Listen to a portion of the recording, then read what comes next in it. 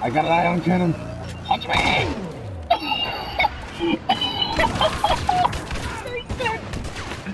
I was about to shoot the AT-ST and a fucking um, stormtrooper came into the walkway and got his face blasted off. that was funny.